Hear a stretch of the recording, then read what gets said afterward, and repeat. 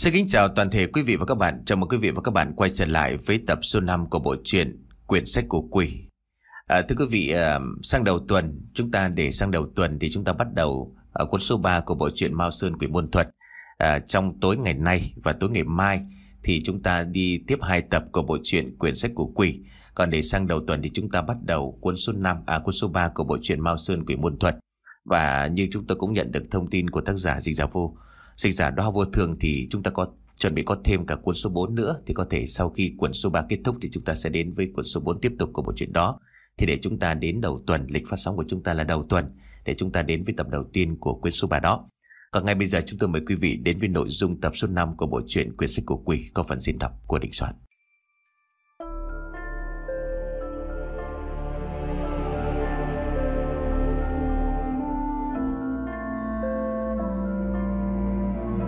Xin hân hạnh giới thiệu cùng quý khán thính giả câu chuyện Quyển sách của quỷ qua phần diễn đọc của Đình Soạn, Tập 5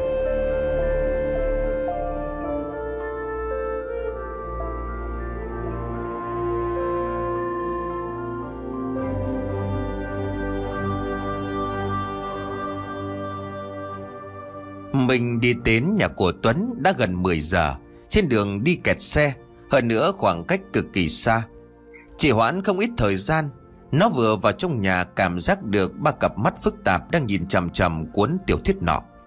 Nhất thời nó cũng cảm giác được một loại tâm trạng quái dị khó hiểu. Bốn người bọn họ không nói nhiều, Chỉ dùng ánh mắt chào hỏi, Cảm giác có chút giống kẻ nghiện hút thuốc viện. Chỉ cần dùng tay ra hiệu, Đồng loại liền biết nó đang mượn ống trích. Lâm là một lần nữa lật xem trang sách, Loại khuynh hướng cảm xúc thô giáp này. Cộng với mùi máu thối mơ hồ lại bắt đầu lan tràn, Giống như đang mở một bình khí ga nhỏ. Khí ga từng chút từng chút một tràn ra. Câu chuyện tiếp tục diễn biến đầy quái đản. Trương Xanh và Ngọc Thúy dường như chỉ biết dựa vào bản năng để đi về phía trước. Trong lòng của Trương Xanh rất rõ, Anh chỉ cần đem đồ vật này đưa đến nơi kia, Ngọc Thúy cùng với những người trong hội gì đó sẽ gặp mặt. Anh có thể đỡ xuống trọng trách trên vai Nghĩ tới đây trong lòng của anh lại có chút chần chừ. Anh không biết kế tiếp còn có thể gặp lại Ngọc Thúy không? Xong đây là thứ mà anh không nên suy nghĩ vào lúc này. Trương Xanh không dư sức để nằm mơ.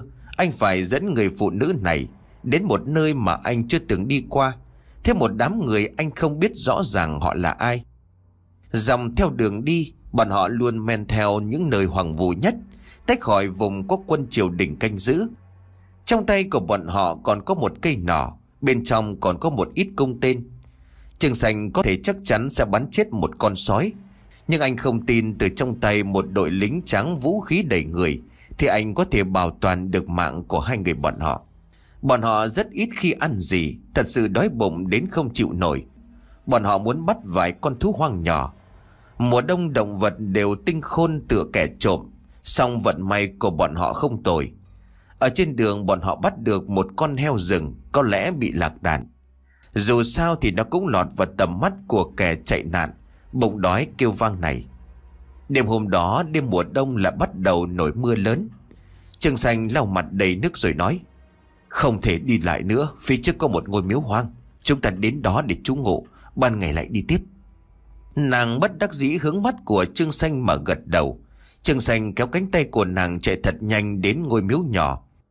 Tiến vào bên trong, bọn họ mới nặng nề thở hồn hển một hơi. Thần kinh thả lòng Bọn họ cảm thấy được rét lạnh, Là loại lạnh không cách nào chịu đựng được. Môi của Ngọc Thúy đã đông lại phát tím, Nàng ôm cầm không để cho miệng của mình run rẩy quá kịch liệt. Trương Xanh lập tức vờ vét tất cả những thứ có thể đốt. Anh đốt vài vóc trước, Sau đó bổ đứt một chiếc ghế đầu làm củi đốt. Bộ dáng của Ngọc Thúy có chút mệt mỏi lắm Trương Xanh cảm giác được nàng có thể bị cảm. Quả nhiên Ngọc Thúy liền bắt đầu hắt hơi, một cái tiếp một cái. Thân thể cũng run rẩy ngày càng nhiều. Anh rất nhanh nhóm cho Ngọc Thúy một đống lửa, rồi dùng vài rách làm cái rèm nói. Ngọc Thúy cô nương, cô phải cởi quần áo ra sau đó hong khô, nếu không sẽ bị cảm đó. Như vậy sẽ không cách nào chạy đi được nữa. Ngọc Thúy không phản ứng lại, chân xanh cua cua tay. Ngọc Thúy lúc này mới ý thức mơ hồ gật đầu. Nàng run rẩy đứng dậy, sau đó vào trong rèm, Bắt đầu thắt y phục. Trương Xanh thì canh giữ ở cửa. Anh sợ gió lạnh sẽ xông vào. Đem ván cửa đang ngã một bên dựng thẳng lên. Mưa ở bên ngoài đánh vào trên ván cửa. Âm thanh như có người dùng toàn bộ sức lực đạp vào mặt cửa. Trương Xanh cảm thấy bắt đầu có chút mệt mỏi. Anh biết bản thân của anh sắp chống đỡ đến giới hạn. Ngọc Thúy ở mặt rèm bên kia anh ở bên này có thể nhìn thấy bóng dáng của Ngọc Thúy ở trên tường. Vóc dáng của người phụ nữ rất đẹp, Mặc dù cảm giác có chút gầy, Nhưng đường cong của cổ cực kỳ mỹ miều. Ngọc Thúy còng lưng giúp bên đống lửa Như lại đang len lén khóc. Trường xanh bắt đầu run rẩy, Anh đầu tiên cảm giác được lạnh, Tiếp đó là cảm giác được thân thể trở nên thật khó chịu. Anh sợ hãi anh cứ như vậy ngủ, Có lẽ sẽ chết luôn. Tuy nhiên, cơn mệt mỏi này của anh không thể cản nổi. Trương xanh liềm dìm mắt, Nhanh chóng chìm vào giấc ngủ. Anh tiến vào trong giấc mộng, Trong đó xung quanh anh trần bóng tối. Chỉ có một nơi là có điểm sáng. Trương xanh hướng điểm sáng khó hiểu thần bí kia đi đến. Anh phát hiện điểm sáng này là một cây nến, Một cây nến sắp đốt hết. Trương xanh một mảnh bóng tối, Chỉ còn thấy một cây nến. Trương xanh thuận tay cầm lên. Nến không có chút nhiệt độ hay hơi nóng nào tỏa ra cả. Anh bắt đầu xem xét, Những nơi ánh lửa chiếu đến vẫn là một mảng đen kịt. Anh bắt đầu cầm đến đi về phía trước. Anh phát hiện ngoại trừ cây nến này, Cái gì cũng đều không nhìn thấy. Anh mở lớn hai mắt, Muốn tìm xung quanh. Anh đi bốn năm bước, Cảm giác dường như đã tới cuối. Anh dùng tay chạm đến, Dựa vào cảm giác để xác định. Anh nghi hoặc đem bàn tay hướng về phía màu đen tối. Sau khi tiếp xúc, anh phát hiện Anh đang mò tới Là một bó to tóc đen. Tóc này như là rèm rũ xuống, Bao bọc lấy không gian quái dị này. Mà trưng xanh ngay trung Mà trưng xanh ngay trung tâm của đám tóc đen này. Lúc này, nến trong tay của anh phụt một tiếng và tắt ngúm. Tóc bắt đầu run rẩy, phát ra những tiếng sột soạt. Trương Sành chỉ có thể nắm thật chặt nến ở trong tay Lúc này anh phát hiện trừ tay của anh ra, Còn có một bàn tay khác bao trùm lên tay của anh. Cùng nhau nắm cây nến đã lùi tắt đó. Cái tay kia rõ ràng không phải tay người, Lạnh như bằng khiến cho da đầu của Trương Xanh tê dại. Anh sợ đến lảo đảo lùi bước, Nhưng lúc này anh mới phát hiện Tóc này đã áp sát vào anh. Cánh tay kia là từ giữa đám tóc này vươn tới.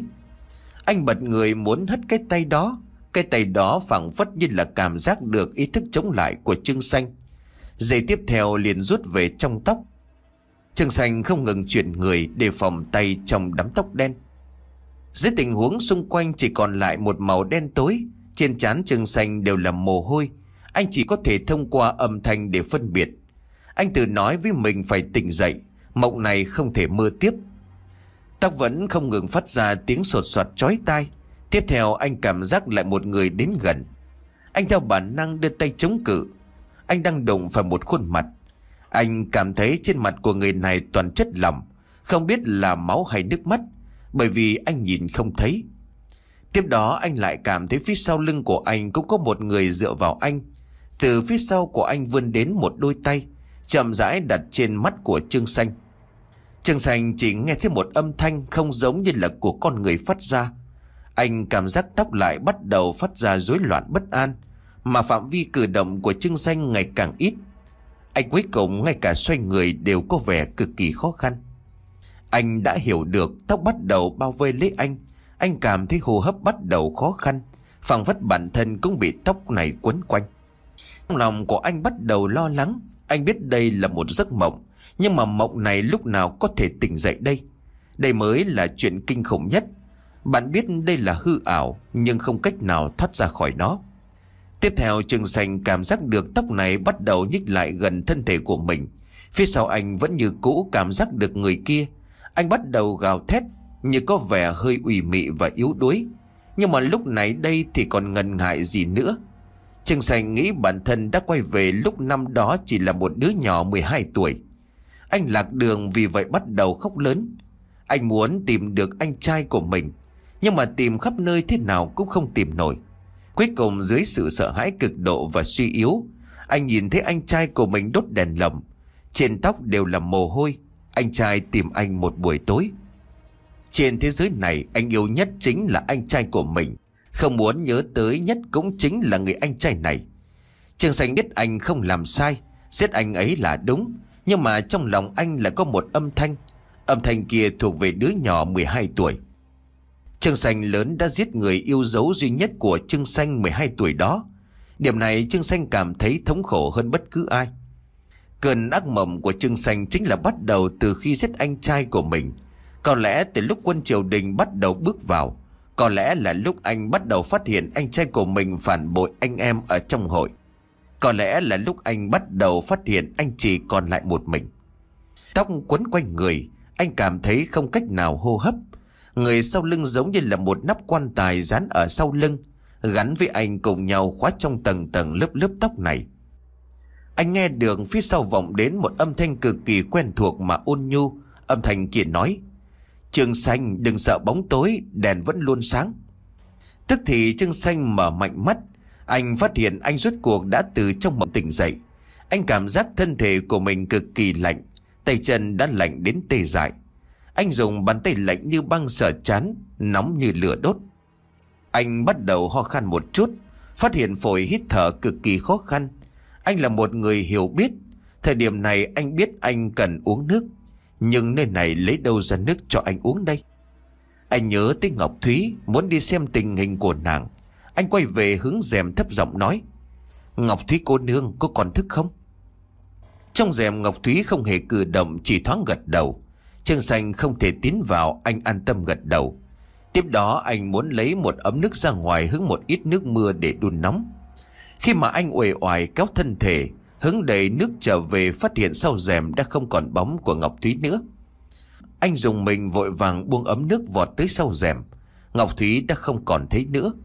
Anh lo âu ra ngoài gọi Ngọc Thúy.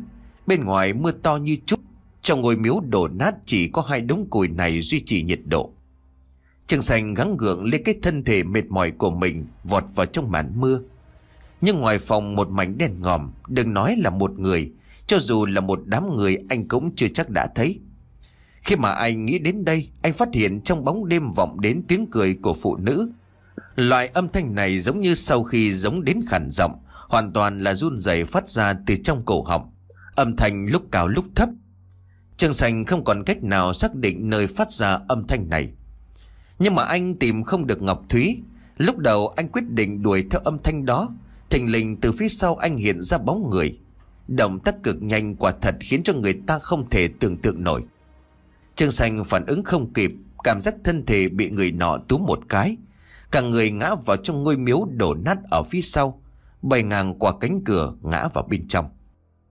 Trương Xanh cảm thấy sau não oanh một tiếng, Cơ hồ mất vài giây đồng hồ trống rỗng anh khổ sở bỏ người dậy. Quay đầu lại thì phát hiện một người cũng mặc áo liệm, Đeo đai lưng đỏ. Người này tuổi cực kỳ trẻ, Diện mạo thanh tú khôi ngô, Nhưng ánh mắt lại lộ ra một tia sát khí bừng bừng. Trương Xanh chậm rãi bỏ dậy. Chàng trai chỉ thoáng lui về một bước, Ánh mắt lạnh lùng nhìn Trương Xanh vụng về đứng thẳng lên. Trương Xanh đỡ chán rồi hỏi, Cậu là ai? Ánh mắt của chàng trai vẫn như cũ không biểu lộ một tia cảm xúc nó hơi hé môi rồi nói Một trong bảy người. Trường Xanh lúc này rút cuộc bắt đầu ho khan Anh biết anh đã nhiễm phong hàn. Chàng trai kia vẫn như cũ diện vô biểu cảm nhìn anh phảng phất như là sống chết của anh cùng nó không quan hệ. Trương Xanh đành phải hỏi Vậy cậu làm gì? Tôi đau, đầu của tôi rất đau. Chàng trai lúc này ngồi trước mặt của anh nói Tôi tên là Lưu Phi Anh không phải là người cùng hội với chúng tôi. Đúng, tôi tôi không phải. Nếu anh không phải là người cùng một đường, Anh Hồ sao có thể cho anh thấy anh chứ? Trương Sành bất đắc dĩ thở dài, Mặt của chàng trai tối xuống nó nói, Tại sao anh quen bọn họ? Trương Sành cười khổ mấy tiếng, Kể cho chàng trai anh làm thế nào Để quen biết hai người này. Mà Hồ Tân lại làm thế nào trọng thương mà chết? Liêu Phi nghe được Hồ Tân đã chết Không nhịn được hoảng hốt, Nó nắm đấm tay tự nhủ, Anh Hồ đã chết rồi sao? Tôi còn tưởng rằng anh thay thế Ngọc Thúy.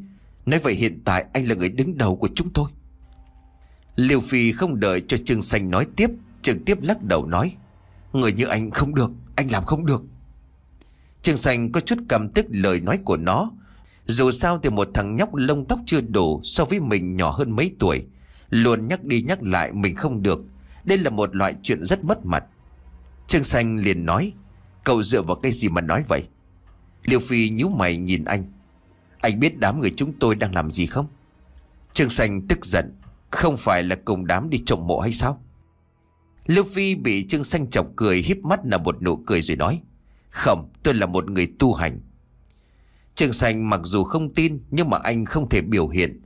Anh đinh ninh rằng kỳ thật tiểu tử Liêu Phi này Là một tên đầu trộm đuôi cướp. Một người vì chính nghĩa, Một kẻ trộm Lúc này mặt đối mặt ngồi trong một ngôi miếu đổ nát. Bên ngoài mưa to như là cột nước, Mà trên cả hai người đều mặc một bộ áo liệp. Liêu Phi liền nói, Về cái túi của anh Hồ ở trên người của anh. Trương Xanh gật đầu, vuốt khối vật cứng nọ ở trong lòng. Trong ánh mắt của Liêu Phi lộ dần ra vẻ hoài nghi và khó hiểu. Anh lại hỏi, Anh mở nó ra chưa? Trương Xanh thầm nghĩ, Ta dọc đường đi không có nổi một lần nghỉ ngơi đúng nghĩa. Đừng nói là mở cái bọc này, Ngay cả thở dốc cũng không có cơ hội. Không thì tốt. Thế thì cậu từ đâu mà lại lưu lạc đến vùng này Rồi nhập vào hội? Liêu Phi bất đắc dĩ nhún vai rồi nói, Chạy nạn, Đám cho triều đình kia, Nói cái gì muốn tàn sát tất cả làng. Vì vậy tôi đi theo sư phụ cùng nhau từ Bắc xuôi Nam. Không ngờ tới phía Nam rồi Phát hiện cũng không thua gì Đông Bắc. Cuối cùng sư phụ chết, Một mình tôi theo dòng người cùng trốn. Cuối cùng lại cùng bọn anh Hồ tụ tập lại một chỗ. Về các người cuối cùng là đã gặp cái gì? Liêu Phi như đang hồi tưởng lại cơn ác mộng cực kỳ đáng sợ. Nó vỗ chán, Thân thể thoáng có chút run rẩy. Âm thanh của nó run rẩy nói, Giặc đuổi tới, Trong chúng tôi có vài người bị bọn giặc đánh chết. Mắt thấy chúng tôi cũng sắp chết. Anh Hồ nói nơi này có một ngôi mộ. Chúng tôi liền vào trong cái huyệt kia mà ẩn nấp. Trương Sành vừa mới thở ra một hơi tức giận chuẩn bị truy vấn. Chợt nghe ở bên ngoài cửa vọng đến tiếng gọi của Ngọc Thúy. Hai người vội vàng đứng dậy. Vọt tới cửa trong một mảnh đen kịt không tìm được bóng dáng của Ngọc Thúy đâu. Mà lúc này âm thanh cũng đã biến mất. Chỉ còn lại tiếng vang của mưa to tầm tã. Trương Sành thử hô vài tiếng, âm thanh đều bị cơn mưa này hút đi. Thân thể của Trương Sành bắt đầu nóng lên. Anh khổ sở bước về trước vài bước liền ngã về phía sau. Liêu Phi vội vàng đỡ lấy tay của anh. Thời điểm này bọn họ lại nghe được tiếng của Ngọc Thúy kêu. Lúc này đây âm thanh từ phía sau họ vọng đến. Bọn họ quay đầu lại phát hiện Ngọc Thúy đang tựa bên cánh cửa rách nát, lo lắng nhìn bọn họ. Liêu Phi nâng trưng xanh trở lại ngôi miếu đổ nát nó hỏi. Ngọc Thúy, chị từ bên trong đi ra sao? Ngọc Thúy gật đầu. Tôi phát hiện chỗ này có một đường hầm. Bên trong mật thất hình như có một người chết. Nói xong đồng thời đi theo Ngọc Thúy vào trong miếu. Tượng phần trong miếu đang ngả trái ngã phải, Đổ nát hoang tàn. Có một đầu la hán tọa thậm chí là rơi trên mặt đất. Khi mà anh ngẩng đầu đột nhiên phát hiện, Đầu của la hán trợn mắt kia không biết tại sao, Đã trở thân mình, Hướng vào bên trong quay ót về phía của Trương Xanh. Trương Xanh nghi hoặc nghĩ, Trước đó rõ ràng là mặt hướng mình. Nói xong anh bước lại gần chiếc đầu kia Phát hiện đầu kia không phải là tượng la hán gì, Mà là đầu của một người chết. Trường đôi mắt miệng há hốc, Xem trường vẫn còn duy trì vẻ hoảng sợ khi bị chém đầu. Người chết chuyển động miệng, Phát ra âm thanh như là người phụ nữ Bị bóp trụ yết hầu mà nói, Đi mau. Trương Xanh bị dọa cho đến xanh mặt, Lập tức lùi lại vài bước động vào Lưu Phi ở phía sau. Lưu Phi nhìn anh hỏi đã có chuyện gì. Anh chỉ vào đầu kia Liêu Phi nhìn lại rồi lắc đầu nói với vẻ khó hiểu. Đầu Phật mà thôi, đàn ông gì mà nhát gan quá vậy. Trương Xanh nhắm mắt rồi lại, sau đó anh mở ra nhìn kỹ, phát hiện nơi đó đích thật là đầu Phật. Vừa rồi chỉ là anh bị ám ảnh rồi nhìn nhầm mà thôi. Liêu Phi phất lờ Trương Xanh đi theo Ngọc Thúy ra bệ thờ. Phía dưới tường Phật là một lỗ đen thật lớn. Ngọc Thúy ra hiệu cho bọn họ nhặt cây đuốc lên, sau đó bọn họ cùng nhau đi vào. Không dài lắm, đi 10 bước đã đến đầu ra. Bọn họ cũng hiểu được âm thanh của Ngọc Thúy lại từ cửa vọng đến. Nàng nhất định đã nhìn thấy thi thể kinh hoàng kêu lên. Cuối đường là một mật thất bốn bức tường gạch, Bên trong không có bài biện gì, Chỉ có kinh văn chất đống. Một đống đã có chút mục nát, Nhìn qua giống như là một quầy vải rách. Mà người chết kia nếu không phải là Ngọc Thúy đã nhắc nhở trước, Không chú ý thật sự sẽ bị dọa phát bệnh mà bộ dáng của thi thể này Cảm giác như là bị người hại chết ở đây. Gã ngã vào trong chồng kinh quyển, Không biết là từ trong kim thư có chất liệu gỗ đặc thù gì, Hay là vì nguyên nhân khác, Thi thể này đã trở thành xác ướp không phân hủy. Bọn họ chờ mình thi thể Để gã mặt hướng lên trời đối diện với ba người bọn họ. Lúc này bọn họ phát hiện trên người của thi thể mặc quần áo quan lại của triều đình, Nhưng mà là triều đình Trung Hoa Công áo liệm của bọn họ hiện tại rất giống. Dù sao thì liệm chính là dựa theo quần áo vương triều mà làm ra. Trương Sành sau khi nhìn kỹ thi thể kia, anh liền nói, Bộ đồ này gã giống với chúng ta ư? Ngọc Thúy nghiêng đầu nhìn anh, Trái lại Lưu Phi bên cạnh anh lập tức hiểu được ý cống không khỏi a lên một tiếng. Trương Sành nhìn Ngọc Thúy mà nói, Thi thể này là của người Trung Hoa thời Minh, Tại sao lại có thi thể của người nước ngoài ở đây? Liêu Phi liền reo lớn. Các người nhìn xem, Các người nhìn xem. Trong miệng của thi thể này hình như là có vật gì đó. Ngay khi đám của Lâm Tuấn đọc đến khắc mấu chốt, Thì đúng như dự đoán lại bị người cắt đứt đến độ. Mọi người ngẩng đầu, Tuấn ra hiệu mọi người dừng trước, Anh đi ra mở cửa.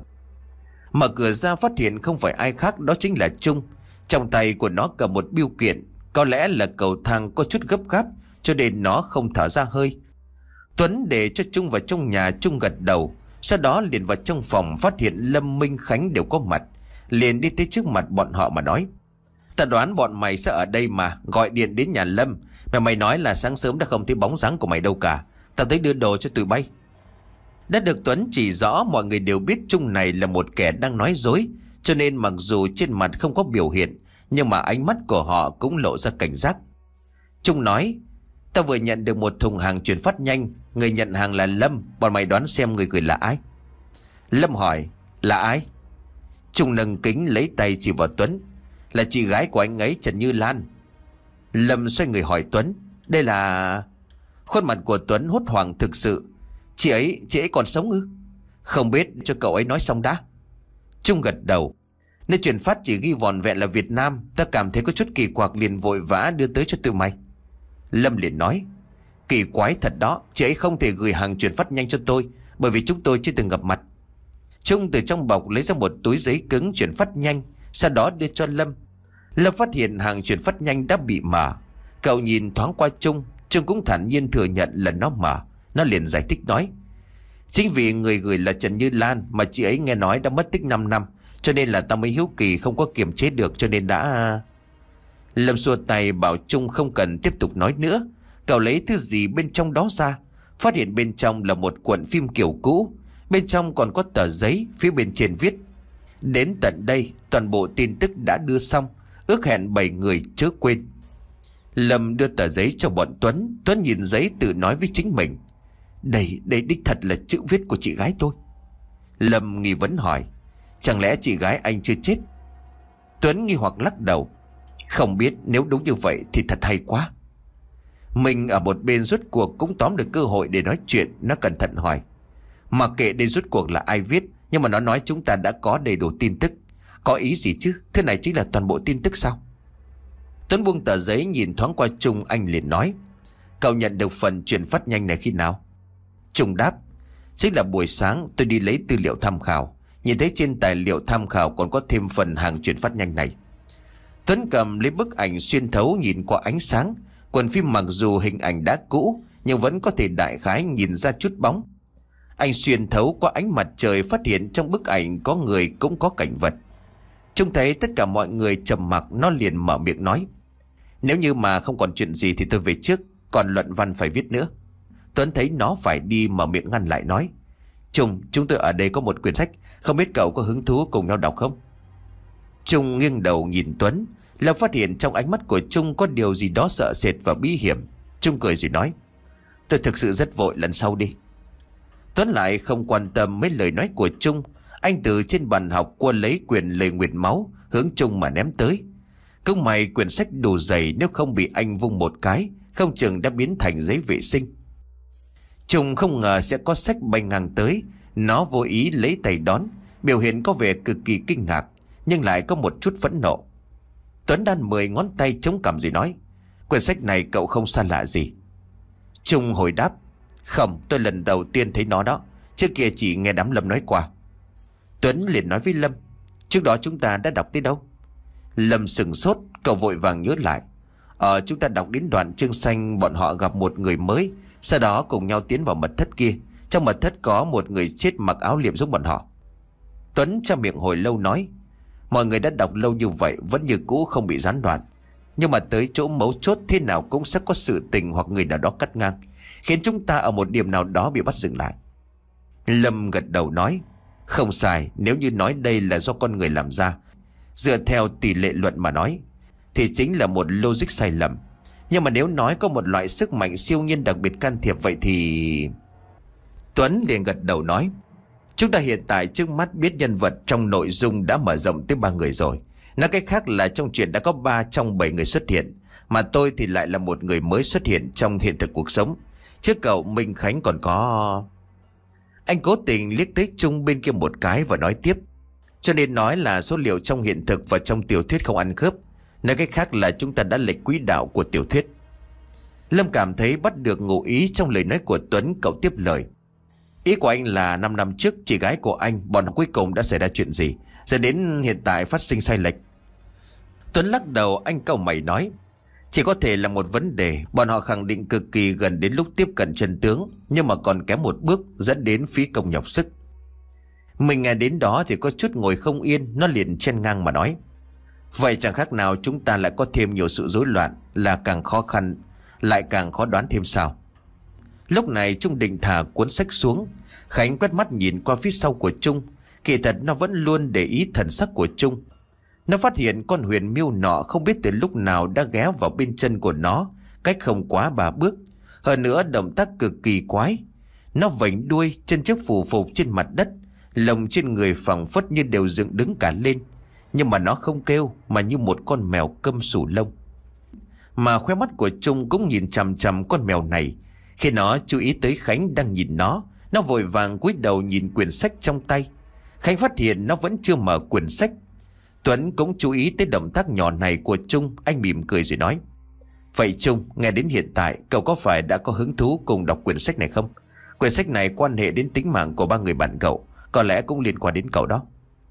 Trung không biết duyên cớ gì Về mặt bình tĩnh suy nghĩ thật lâu. Lúc này nó mới ngẩng đầu rồi nói Cái này cũng được mình nhanh nhảu nói, Vậy tiếp đi, chúng ta tiếp tục đọc, đừng có dừng nha. Nhưng mà không ngờ tới Trung lại nói, Chúng ta vẫn nên nhìn xem cuộn phim này trước đi. Nếu thật sự đúng như lời của Tuấn nói, Vậy chúng ta hẳn nên nắm chắc đầu mối chúng ta đã có ở trong tay. Mình không đợi nó nói hết lời liền lộ ra vẻ mặt không mấy tin tưởng. Lâm lúc này nói, Tôi đồng ý với cái nhìn của Trung, Cuộn phim này xuất hiện không rõ ràng. Chúng ta hẳn là nên xem nó để lấy đầu mối trước vì vậy, đặt trước mặt mọi người ngoại trừ quyền tiểu thuyết quái dị này, Còn có một túi phim không biết có thể rửa ra được không? Hai thứ đồ vật này đều vô cùng có sức hấp dẫn ngang nhau Xong cuối cùng mọi người vẫn lựa chọn cuộn phim. Sau đó, Tuấn và mình bọn họ đi rửa phim, Còn Lâm Khánh và Trung ở lại trông coi quyển sách. Thật ra thì Lâm và Khánh ngoài việc phải trông coi quyển sách này, Còn có nhiệm vụ bí mật coi xét Trung. Lâm ôm con mèo nọ ngồi đối diện với Trung Khánh khoanh tay tựa bên tủ. Ánh mắt của Trung vẫn còn mơ hồ. Nó chốc chốc lại nhìn quyển sách kia, Chốc chốc lại nhìn thoáng qua con mèo nọ Ở trong lòng của Lâm. Mà con huyền miêu nọ sau khi Trung tới liền không thích kêu nữa. Nó cảnh giác nhìn Trung giống như một vị lính trinh sát. Lâm chỉ nhìn thoảng qua không để ý bầu không khí quá đông đặc. Khẽ nói một ít chuyện xoa dịu. Lâm giả lạ cười mà nói, Không biết trong bức ảnh này có những thứ gì nữa. Trung lắc đầu, Khánh nãy giờ vẫn không nói gì. Nó chỉ cúi đầu nhìn ngón chân, Trung liền nói, Tụi mày nghĩ quyển sách này sẽ đem đến cho tụi mày thứ gì? Lâm nghĩ lời này là một ngữ hai nghĩa. Cậu cẩn thận nhìn thoáng qua Trung. Ánh mắt của Trung cực kỳ bình thản. Loại bình thản này khiến cho Lâm hơi bất kiêng kỵ với nó. Cậu hồi đáp, Không biết có lẽ là sẽ làm cho chúng ta vạch trần một bí mật nào đó chăng? Trung nở một nụ cười. Nó không trả lời Lâm. Một lát sau, nó chậm rãi đứng dậy. Khánh cũng thay đổi tư thế đứng. Nó cảnh giác nhìn chung Lầm nghĩ Khánh dám thị quá lộ liễu, Khoát tay áo với nó. Trung đến nhà vệ sinh đóng cửa lại. Khánh ngồi khôi phục tư thế ban đầu dựa vào tường, Nhưng mà ánh mắt của nó lại cố định ở nhà vệ sinh. Lâm thấp giọng nói với Khánh Khánh, đừng quá lộ liễu, Phải ngoài lòng trong chặt, Đừng có để nó nghi ngờ. Khánh lắc đầu, Không phải, nó quan tâm đến ánh mắt của chúng ta, Nó trở về khẳng định có mục đích của nó. Lâm hiểu được ý của Khánh. Xong cá tính của Lâm là loại nhiều ít, Không phải biểu hiện khách khí ngoài mặt, Cho nên cậu không muốn dùng phương thức này Để chung sống với Trung. Khánh nhìn thoáng qua cậu, Nhưng vẫn gật đầu, Ngồi xuống ở bên cạnh Lâm.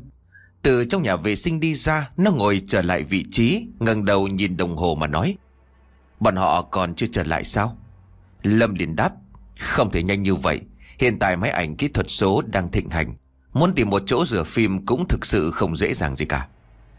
Trung liền ừ lên một tiếng, Nó thoáng nhìn bức ảnh không tròn vẹn Ở trên giấy kia mà nói, Thứ này là từ đâu tới? Khánh cầu mày, nó nhìn về phía Lâm. Lâm liền nói, Đây là đầu mối, Trần Như Lan đã ở lại. Trung lại ừ một tiếng. Lâm lúc này tự nhiên chú ý vào bức ảnh đó. Lúc trước chỉ nhìn sơ qua mặt thôi, Còn bây giờ anh cảm thấy có một chỗ trong bức ảnh này mờ mờ như bị che đi. Lâm nhanh tay cầm chiếc kính lúc trên nóc tủ dòi thẳng vào điểm ảnh nhỏ đó. Cậu phát hiện điểm ấy là một tấm kính, Hình ảnh phản chiếu lại giống như là một cái giày, Là một chiếc giày mà mờ ẩn hiện. Tay cầm kính lúp của Lâm đều run rẩy, Cái chân này trông như là đang đong đưa qua lại. Cậu vội vàng kêu Khánh cùng nhìn xem.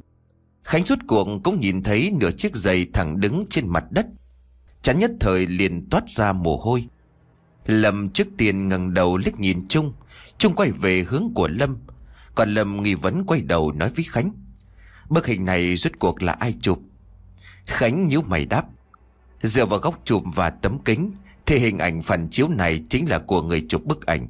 Nhưng mà tại sao chỉ có mỗi chiếc giày? Mày mày sẽ không cho rằng Người chụp bức ảnh này chính là đôi giày kia chứ? Lâm nói. Như ma quỷ đang chụp vậy. Khánh không cười khoe mắt thoáng cò quắp. Lâm cũng bị ý nghĩ của chính mình dọa cho mất hồn vía. Bọn họ quay đầu lại nhìn Trung. Trung lại cười mà nói, Rất có thể, Thật đúng là một con quỷ trụ. Quỷ này có thể chính là Trần Như Lan hay không? Lâm âm thầm nén một hơi, Sắc mặt của cậu tái nhợt, cậu nói, Tào lao, Chị ta là ma ư? Trung vẫn như cú cười, không nói gì. Khánh đẩy Lâm. Ám chỉ cậu đừng tiếp tục cùng Chung đối thoại nữa. Lâm phát hiện con mèo vốn ngủ trên ghế nọ, Chạy tới bên chân của cậu, Dùng đuôi để quấn lấy chân của cậu. Lúc Lâm bọn họ bất an chờ đợi, Tuấn và Minh đang vội vàng đi khắp nơi để rửa bình. Đúng như Lâm đoán, Bọn họ phải hỏi thật nhiều tiệm, Nhưng mà ngày nay kỹ thuật số hình thành như thế, Quá khó để tìm ra chỗ rửa phim. Mình đi hơn một giờ Cơ hồ đã trở thành lê bước mà đi. Nó quay trở về hướng của Tuấn Chỉ lo tự mình đi trước vẫy vẫy tay. Tuấn dừng lại, Mình vừa nói vừa lòng mồ hôi ở trên cổ. Không có, Bằng không chúng ta trở về trước đi, Ngày mai rồi tính sau. Tuấn lắc đầu đáp, Không được, tin tức này rất quan trọng, Hôm nay nhất định phải rửa ra. Mình chuẩn bị tiếp tục đi Thì bất ngờ Tuấn đứng yên lại. Mình tưởng rằng anh đã hồi tâm chuyển ý. Nhưng không, Tuấn chỉ đang đưa tay với một chiếc taxi, Sau đó nói với nó. Nơi này không chừng thực sự không có tìm được nữa, Cậu theo tôi tôi biết ở đâu có. Tuấn nói xong thì liền đem nó túm vào trong xe. Xe dẫm ga thẳng đến một đầu khác của sông Hương, Sau đó nó dựa theo chỉ dẫn của Tuấn đi thêm một đoạn khá xa. Tuấn lúc này mới xuống xe, Mới nhìn trái nhìn phải, Phát hiện nơi này là một xóm kiểu cũ Buổi chiều, mấy cụ già dưới tròi hóng mát ở trong ngõ chơi bài tứ sắc. Còn có một phụ nữ trung niên mặc áo ngủ đang đổ ống nhổ ăn trầu. Tuấn quen thuộc xài bước vào bên trong hẻm. Anh kéo ra cánh cửa sắt đầy dì xét chui vào bên trong. Mình đi theo anh xuyên qua một con đường nhỏ không có đèn đường nói. Anh muốn dẫn tôi đi đâu? Sòng bạc ngầm hay sao? Trông tồi tàn quá. Tuấn liền đáp. Cậu chưa từng ở khu ổ chuột hay sao? Tôi trước đây ở đây Biết nơi này có một hiệu chụp ảnh. Hiện tại đã không còn buôn bán về bên ngoài nữa. Nhưng bác ấy vẫn thích dùng máy ảnh kiểu cũ chụp, Sau đó rửa ra. Mình hồn hển nói, Anh biết có chỗ này sao ngay từ đầu không có chạy sang đấy? Tuấn cười lạnh một tiếng, Anh đẩy ra cánh cửa gỗ cuối cùng. Một tia sáng chiếu vào căn phòng tối đen. Bên trong vọng ra tiếng chuột kêu. Mình lập tức ngửi được một mùi lạ cực kỳ khó ngửi. Ngoài trừ mùi mốc còn có một loại mùi nước thuốc Trộn lẫn cùng với một chỗ có chút giống mùi món ăn nào đó hư hỏng. Mình vừa ngẩng đầu nhìn liền phát hiện giữa ánh sáng yếu ớt có một khuôn mặt. Khuôn mặt nọ tái nhợt gần như là sắp đàn cầy, Ánh mắt u ám. Nó sợ đến ngã về phía sau, Nhưng mà chân bị vướng vào cánh cửa, Đặt mông ngồi trên đất. Tuấn bình tĩnh nói, Lão này trước đây mở tiệm chuyên chụp hình thẻ cho người ta Đương nhiên còn có thể chụp di ảnh cho người đã chết. Bức ảnh này là chú ấy tự chụp cho mình, Cũng là bức ảnh hài lòng nhất của chú. Chú ấy lấy làm bảng hiệu. Mình run rẩy thịt mỡ ở trên mặt nói, Đem đem hình mình để ở trên xà cửa, Thật đáng sợ, Trông như là hình thờ vậy đó. Tuấn không quan tâm đến nó Mà đi thẳng vào trong phòng. Anh quay đầu vào trong buồng tối đen rồi nói, Chú Ân, chú có nhà không? Quả nhiên từ bên trong vọng đến tiếng bước chân thông thả. Tiếp đó liền vọng đến tiếng nói chuyện eo éo không rõ là nam hay nữ. Trong bóng tối liền hồi hộp đáp. Ai vậy? Minh quả thật sợ đến mất hồn vía.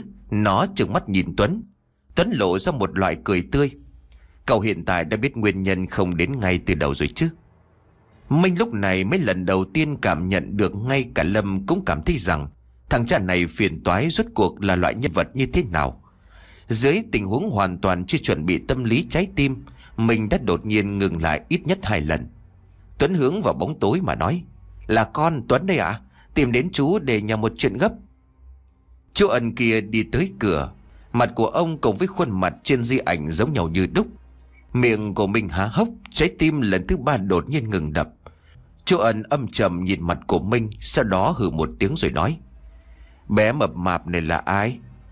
Tuấn liền cười mà đáp Dạ là em của con. Mình phát hiện chú Ân nguyên lai là một người tàn tật, Khó trách đi lâu như vậy mới ra. Ông khập khiễng bước tới cửa Sau đó trong bóng tối, Tìm được một sợi dây điện mốc meo. Ánh đèn sáng lên Tuy nhiên cũng chỉ là một ngọn 40W mà thôi. Trên bóng đèn đều là dầu mỡ, Cho nên cường độ chiếu sáng yếu ớt. Thời điểm này Minh mới phát hiện, Nơi này treo đầy các loại di ảnh khác nhau. Có cái là đen trắng, Có cái là ảnh màu. Còn lại ảnh đen trắng chuyển sang ảnh màu. Chú Ân chỉ vào một băng ghế dài trong góc mà nói, Các cậu ngồi, tôi đi rót nước cho các cậu. Tuấn chỉ vào ghế gỗ nói với Minh, Sang ngồi đi. Chú Ân từ buồng trong cầm tới hai chiếc ly trắng men Đưa cho hai người. Minh phát hiện lá trà trong ly này đã không thể được gọi là trà nữa. Nó liếc mắt nhìn Tuấn Quả nhiên Tuấn chỉ làm ra vẻ cũng không hề uống trà này. Tuấn sau khi lễ phép uống một ngụm trà nói với chú Ân, Chú, có thể giúp bọn con rửa một ít ảnh không? Chúng con cần gấp. Chú Ân liền ừ lên một tiếng. Tuấn từ trong túi lấy ra vài cuộn phim mà nói, Chính là cây này.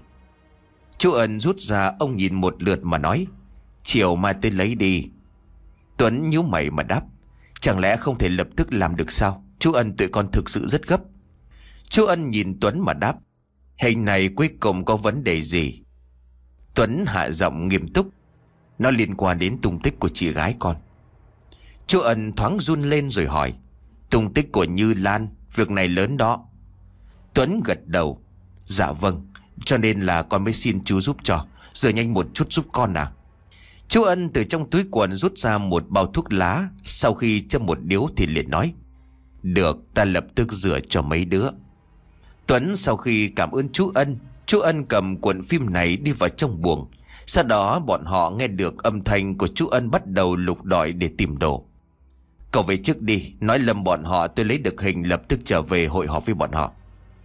Mặt của Minh lộ vẻ khó khăn mà nói, Tôi cũng muốn nhưng mà tôi không có tiền gọi xe trở về. Tuấn bắt đắc dĩ từ trong túi quần lấy tiền ra, Sau đó đưa cho nó tờ 500 ngàn. Vậy là đủ rồi Cậu sau khi trở về mà bọn họ tự về nhà. Chỗ ở của tôi không có cách nào chứa nhiều người như vậy. Nếu Khánh thực sự không có chỗ ở Thì có thể ở nhà tôi. Minh lúc này mới như chút được gánh nặng Rời khỏi căn phòng này. Khi nó xoay người rời đi Chú ẩn từ trong phòng đi ra. Trên người của ông mặc một bộ quần áo lao động màu lam. Ông buồn rầu nhìn Tuấn Sau đó cũng chỉ nhàn nhạt, nhạt nhìn anh. Chú Ân liền nói sự tình 5 năm trước này Cuối cùng cũng khiến cho cậu đụng phải. Tuấn thoáng sửng sốt, Nét lạnh nhạt trên mặt của anh xuất hiện một tia thống khổ. Anh không thể tưởng tượng nổi nhìn chú Ân, anh hỏi, Chú... Mặt của người nọ chôn trong âm u, Tuấn thật sự không ngờ cũng biết sự tình đó. Từ trong giọng điệu của chú Ân, anh cảm giác chú Ân biết đến sự tình này. So với trong tưởng tượng của anh còn nhiều hơn. Chú Ân cười vài tiếng Nghe như có người bóp cổ con vịt già phát ra tiếng nghẹn ngào. Tuấn muốn mở miệng hỏi nhưng vẫn không làm vậy. Chú Ân cười mà nói, Con rất là thông minh, Chỉ con vẫn khen con, Nó không hy vọng con gặp chuyện bất chắc.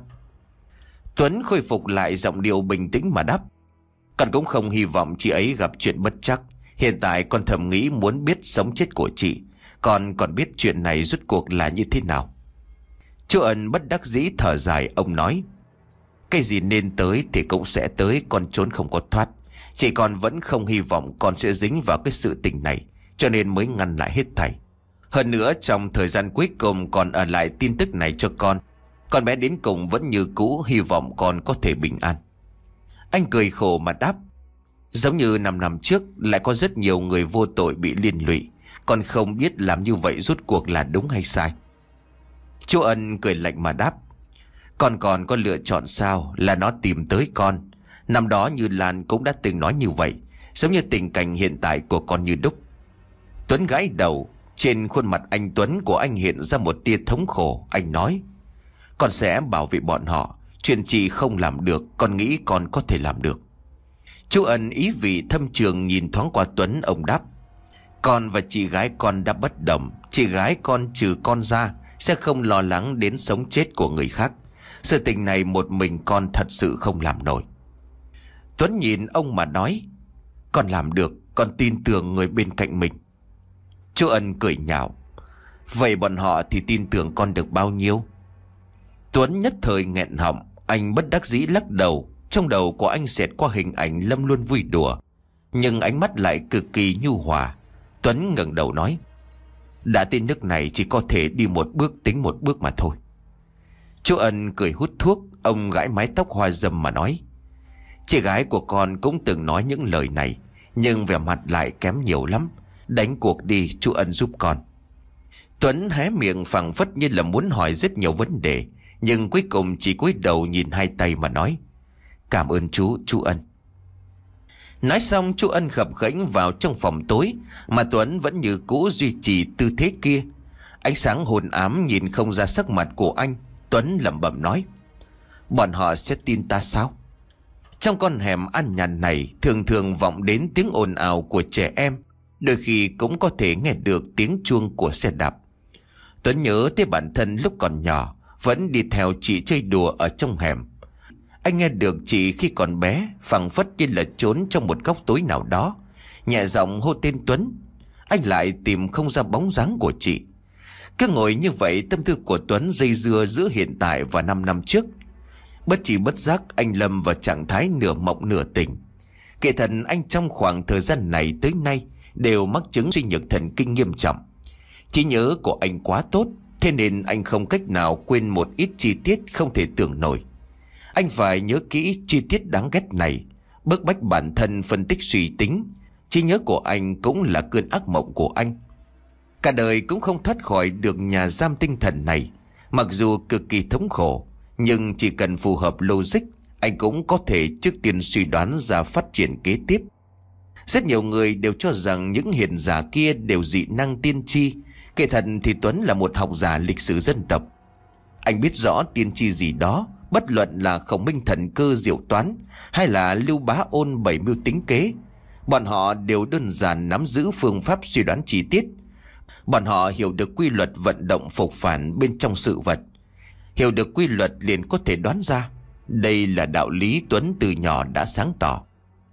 Nhưng chi tiết về Trần Như Lai lại không giống, Nó như là ma chơi quỷ dị, Không cách nào để anh đoán được gì.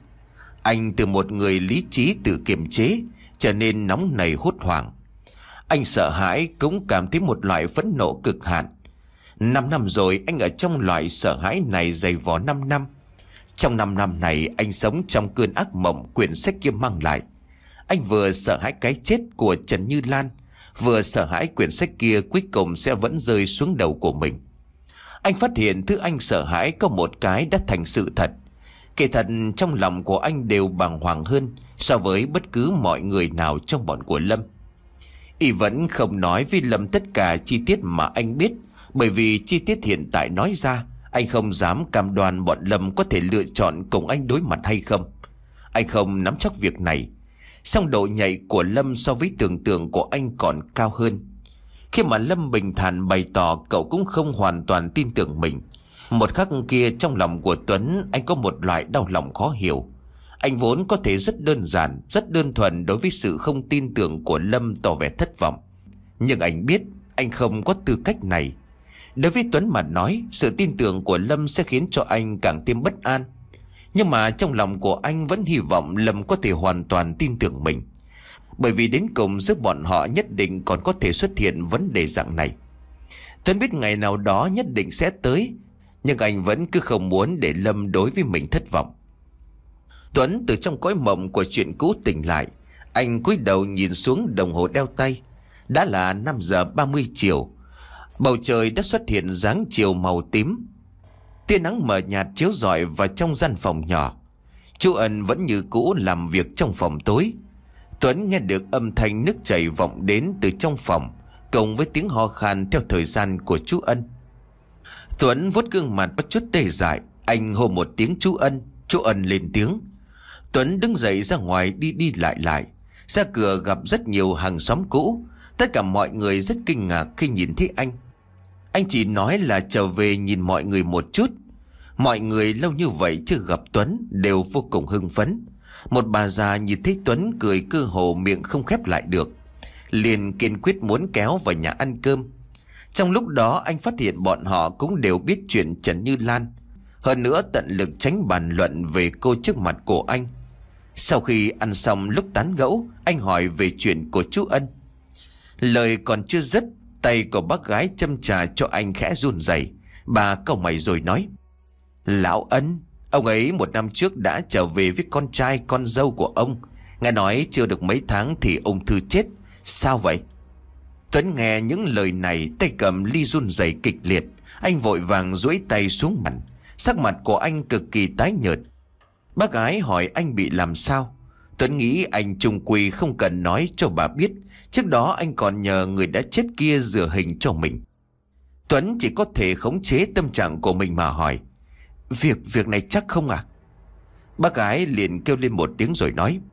Chắc, chúng ta ở đây còn có người đến tham gia lễ truy điệu. Ta không có đi. Nghe nói ông già kia sau khi chuyển khỏi đây, có một đoạn thời gian rất quái dị. Sau đó vô tình mà chết. Lúc chết trong miệng còn nhắc đến chị gái của cậu, có thể nhìn thấy mấy đứa lớn lên. Bác gái phát hiện mình lại nói chuyện tới Trần Như Lan thì vội vàng dừng lại. Tuấn đã không còn cách nào khống chế tâm trạng của mình. Anh thở phì phò, hơi thở càng trở nên rồn rập. Anh buông lòng hai tay thật vất vả nặn ra một nụ cười mà nói. Bác à, con có việc gấp, sau này trở lại thăm mọi người sau.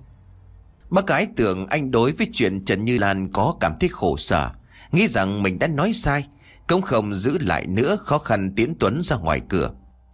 Tuấn vừa rời đi liền ra bước trở lại phòng của chú Ân. Nhưng mà ngay khi tới cửa, anh đã thả chậm tốc độ. Anh cảm thấy cực kỳ nghi hoặc, Đây rốt cuộc là có vấn đề ở chỗ nào? Nếu mà chú Ân đã chết rồi, Vậy trong phòng nọ là ai? Nếu ông chưa chết là một người. Tim của anh ngừng đập nửa giây, Anh phát hiện ra một vấn đề.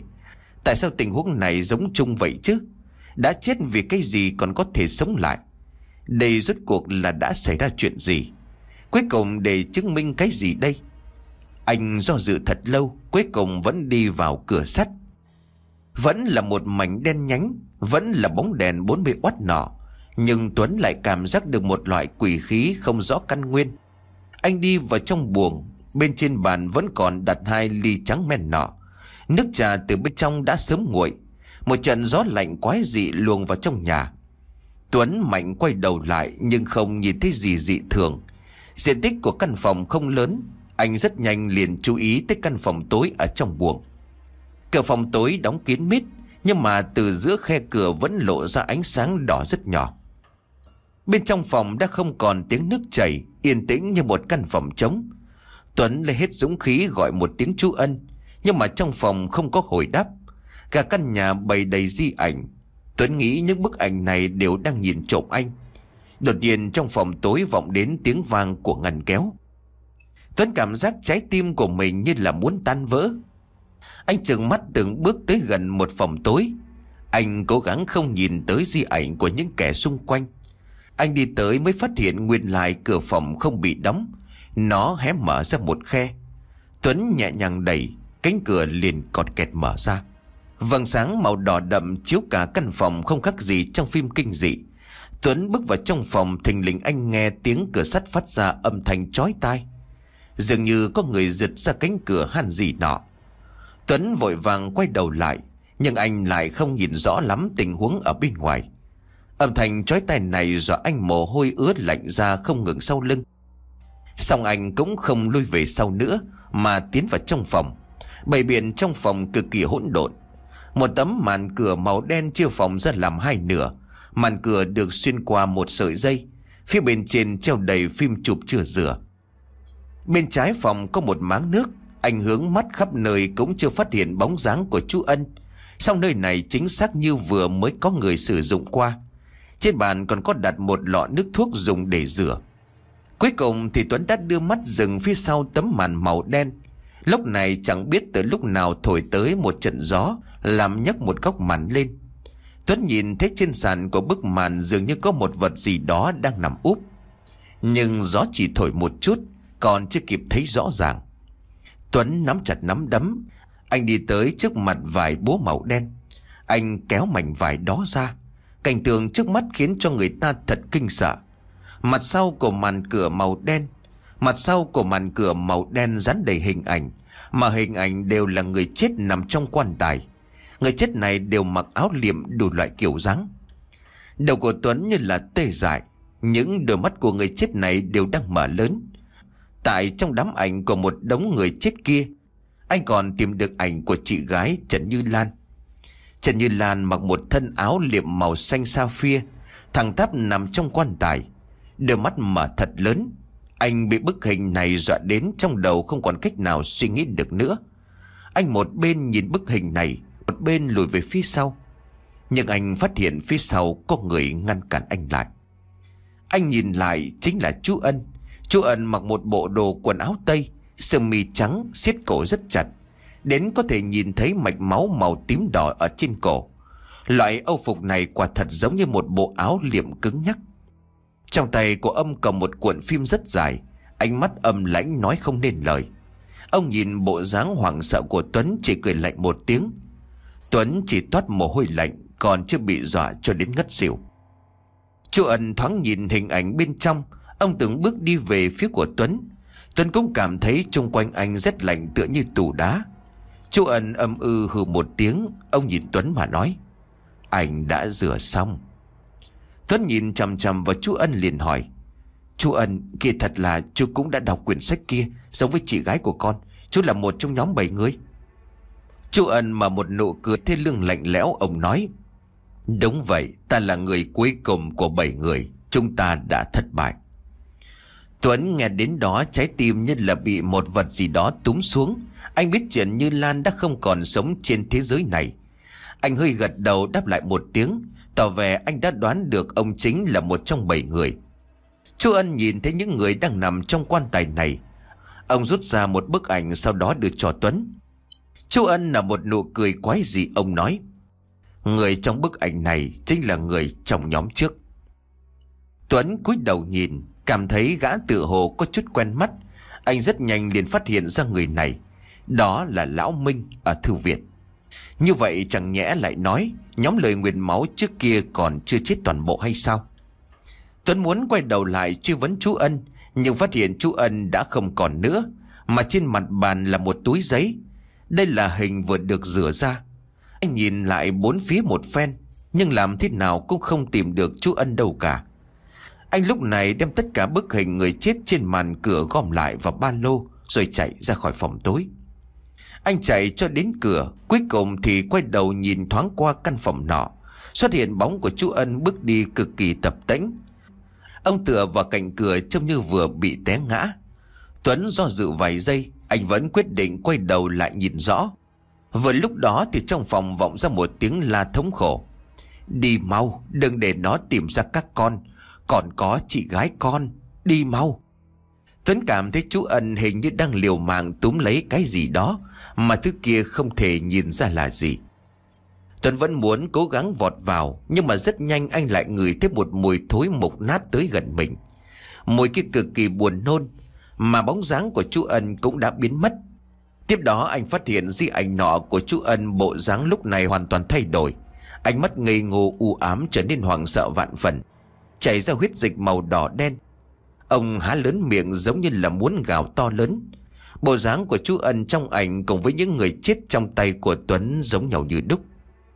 Bức hình dần dần hiện ra bóng của một khuôn mặt người. Khuôn mặt nọ dường như đang cười, Nhưng lại tựa như đang giết gào thống khổ. Tuấn nhìn lại trong phòng một lần nữa, Đã không còn bóng dáng của chú Ân, Nhưng mà mùi máu huyết nọ so với trước còn nồng nặc hơn.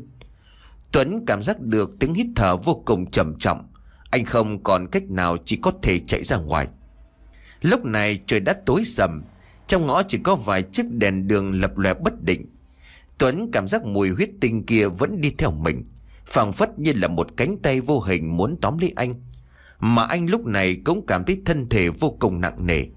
Nhưng trong đầu lại đặc biệt rõ ràng. Trong đầu của anh phản chiếu ra từng chút một của 5 năm trước. Anh cảm thấy đầu của mình đau như muốn nứt ra.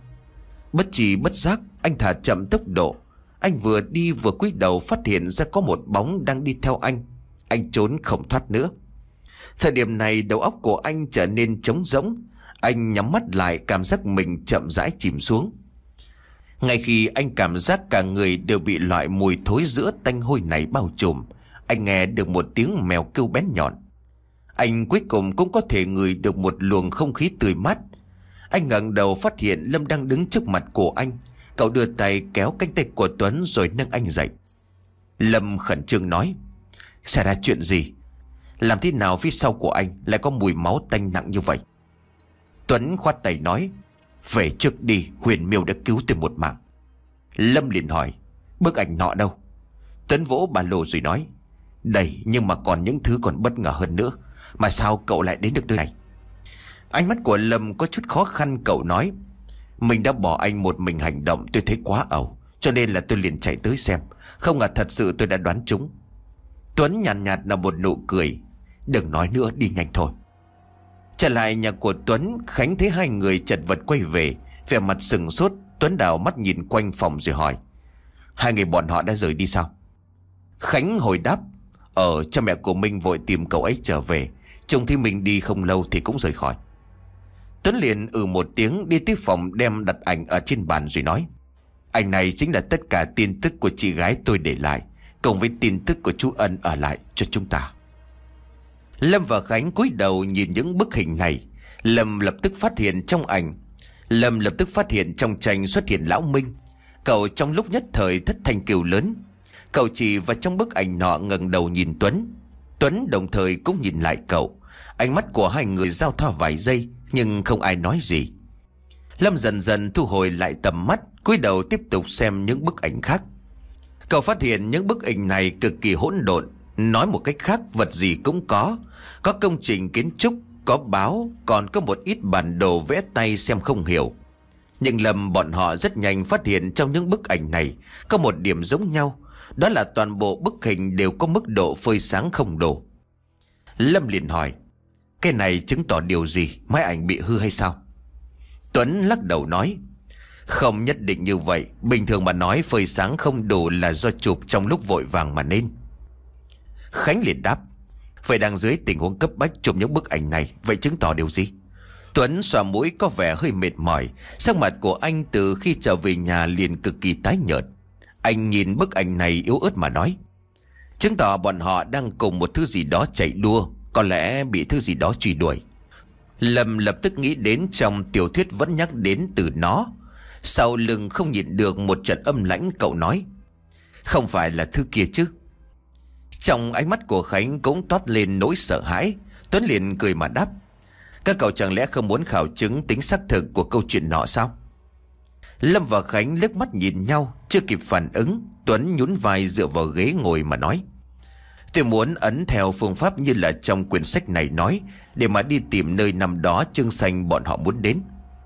Lâm giật mình, cậu liền hỏi, Anh muốn dựa theo phương pháp trong tiểu thuyết đi tìm nơi kia nhưng mà anh có biết dù sao nó cũng là tiểu thuyết, Anh làm sao có thể tìm nổi. Cùng tác giả đi vào cõi thần tiên Nên này có biết bao thứ là hư cấu. Tuấn nhìn Lâm rồi cười nói, Những bức ảnh người chết trong tay của tôi Là tin tức của nhóm lời nguyện máu lần trước để lại. Tôi có thể đánh cược với cậu. Chị gái tôi tuyệt đối đã dựa vào tình huống trong tiểu thuyết Để đi tìm điểm cuối cùng trong câu chuyện. Tôi có thể nhìn ra việc này. Có thể chính là ngọn nguồn cho một loại lời nguyền rủa cho chúng ta. Lâm không cho là đúng, chế nhạo nói. Anh cũng nói nếu mà hoàn toàn dựa theo tin tức Trần Như Lan cung cấp để tìm, Nhiều nhất cũng chỉ đi theo con đường cũ của bọn họ, Chẳng lẽ rồi cũng bị chết? Tuấn khoanh tay nói. Vậy cậu còn có cách khác sao? Lâm không ngờ Tuấn trở tay bất ngờ, Nhất định bị anh hỏi ngược, Cậu nhụt chí nói. Tôi bây giờ còn chưa có cách nào, Nhưng mà tôi nghĩ cách làm của anh quá mạo hiểm. Lúc này Khánh lại nói, Tôi nghĩ chúng ta có thể từ đầu mối của quyển sách này tra lên. Tác giả này rốt cuộc là ai?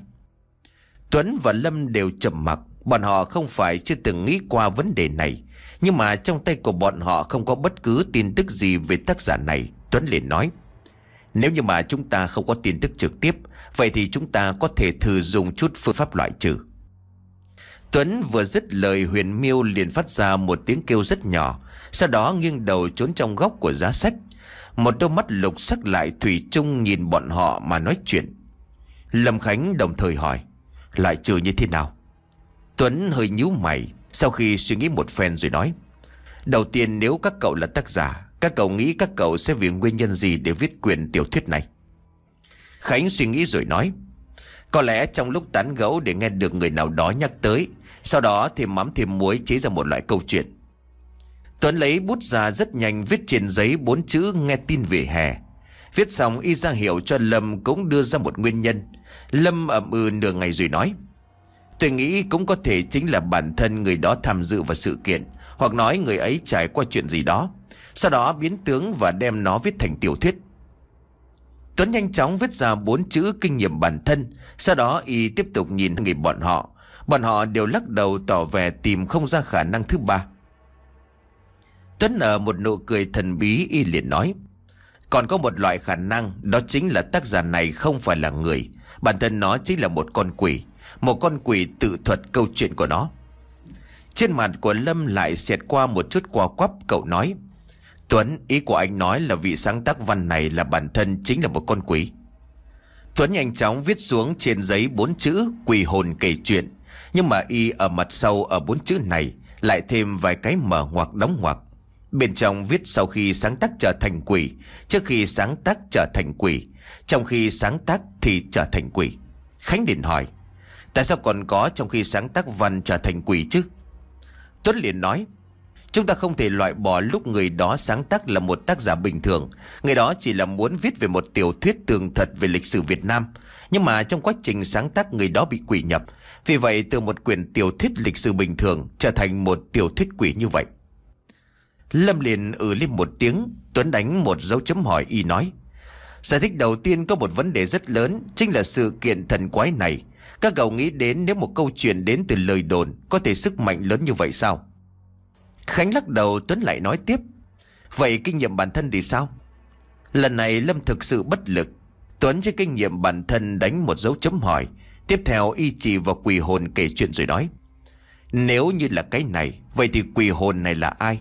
Cho dù là quỷ, nó cũng có tung tích lúc còn sống. Nếu mà người đó bị quỷ nhập thì sao? Vậy thì chúng ta cũng phải làm rõ con quỷ nhập người đó là cái gì. Tuấn rất lời, đem kinh nghiệm của bản thân gộp vào trong quỷ hồn kể chuyện. Y tiếp tục nói. Tiếp theo chúng ta phải làm rõ ràng tin tức của con quỷ này khi còn sống. Nó rốt cuộc là ai? Một trong bảy người trong tiểu thuyết nọ Hay là kẻ hiểu rõ tình hình Hay là chủ mưu? Lâm cảm thấy có thể bắt được một chút suy tư của Tuấn Cậu thử hỏi. Chúng ta có phải nên từ tài liệu bắt đầu tra vấn về vấn đề này không? Tuấn liền gật đầu rồi nói Đúng, còn ba chuyện ta phải tiến hành. Hai người hỏi Chuyện gì vậy? Tuấn liền đáp Chuyện thứ nhất, phân tích thông tin trong bức hình Việc này các cậu để đó tôi xử lý Chuyện thứ hai tra ra quan hệ giữa thư viện và quyển sách này. Lầm sự tình này cậu đi làm ở đó thích hợp, bởi vì dù sao cậu từng làm ở đó. Chuyện thứ ba chính là điều tra chất liệu của sách kể cả là mực viết. Bìa là gì? Ngay cả một phần tử cũng không thể bỏ qua. Sự tình này giao cho Khánh và Minh. Chuyện thứ tư chính là tiếp tục đọc quyển sách này. Tôi quyết định chúng ta mỗi ngày đều phải đọc một lần. Đọc đến đâu dừng lại ở đâu đều không sao cả. Chỉ cần tiến độ. Hai người lập tức gật đầu. Sau đó Tuấn vẫn cho Khánh ở lại. Mà Lâm thì mang theo đứa con ghẻ mèo đen để trở về nhà. Vừa về mẹ thân yêu liền hỏi sao cậu sáng sớm đã không thấy bóng dáng. Cậu chỉ nói hiện tại cùng thầy môn dân tộc là một chuyên đề nghiên cứu. Thầy vô cùng coi trọng cậu, cho nên để cho cậu làm trợ thủ cho thầy. Hiển nhiên loại nói dối này Lâm đã dùng ngón chân cũng có thể bịa ra hoàn mỹ. Mẹ Lâm nghe chuyện là như vậy, mặt mày hớn hở đi lấy coca cho cậu uống. Lâm trở lại gian phòng của mình, trong não bắt đầu hồi tưởng hết thầy đã phát sinh chuyện ngày hôm nay. Trong hình cậu chính xác thấy được người rất giống với Lão Minh. Điều này khiến cho cậu bị đả kích rất lớn. Kỳ thật lúc đầu cậu cũng từng hoài nghi trong thư viện có vấn đề gì đó. Xong Lão mình bình thường khôn khéo như là con hồ ly giả. Làm sao có thể cùng quan hệ với lời nguyện máu chứ? Nhưng mà thi thể trong bức hình nọ tuyệt đối đúng là chú ấy. Đây là chứng tỏ điều gì? Nhưng mà nếu chuyện về thư viện này là do cậu phụ trách trông coi, cậu phải dốc sức mà đi làm. Cậu nằm ở trên giường trần chọc chân trở. Cậu chuẩn bị lý do ngày mai trở về thăm bọn họ, để xem có thể tìm được đầu mối của 5 năm trước hay không. Lâm cảm giác được trong thư viện còn có thứ gì đó mà cậu chưa biết. Theo lý thuyết, thời gian đầu Lâm gặp phải quái sự, cho nên đến thư viện tra đến cùng. Cậu lúc ấy cũng nghĩ như vậy, nhưng mà đột nhiên sự kiện quái dị dồn đến Khiến cho cậu không chuẩn bị như trước Trốn còn không kịp Làm sao có thời gian để đi thăm dò Hiện tại lại đến tình huống không còn cách nào khác Nếu mà cậu không còn đi điều tra ngọn nguồn của quyển sách này rất có thể sẽ không còn cơ hội điều tra nữa. Cho nên trong lòng Lâm rất không tình nguyện trở về thư viện kia lần nữa. Cậu cảm giác mỗi người nơi đó đều vô cùng đáng sợ. Dường như dưới lớp da mặt của bọn họ còn có một khuôn mặt dữ tợn khác.